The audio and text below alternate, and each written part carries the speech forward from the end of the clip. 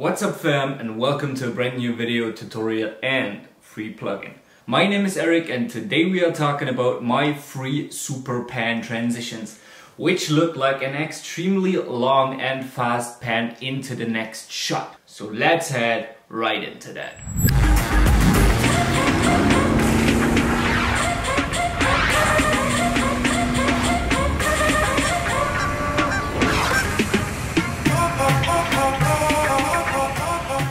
Now in order to get this free transition, download from the link in the description. Throw the transition into your Motion Templates transitions folder and restart Final Cut Pro.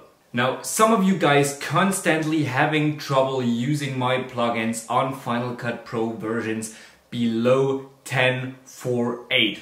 They are reporting the red triangle which means missing media or something like that. But that doesn't mean that my plugins don't work below that version because obviously I only get this information when it's not working. So let's try something out and see if we can sort that out together and figure out where is the problem. So please, if my free plugins work on your Mac, comment your version, your Final Cut Pro version in the comments below so we can sort that out and figure out what is the problem and on which version my plugins work and in which don't. Now let's go back to the transitions. When you restarted Final Cut Pro you will find them now in the transitions browser. It comes in four different ways, a pan up, pan down, right and left.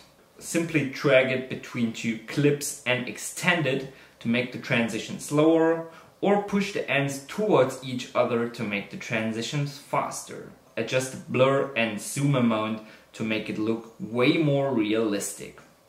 As I said before, my name is Erik, I do Final Cut Pro 10 tutorials and have a lot of free plugins, so check out all my other videos. If you haven't already, smash the sub button down there right now and follow me on Instagram, lifted underline Erik.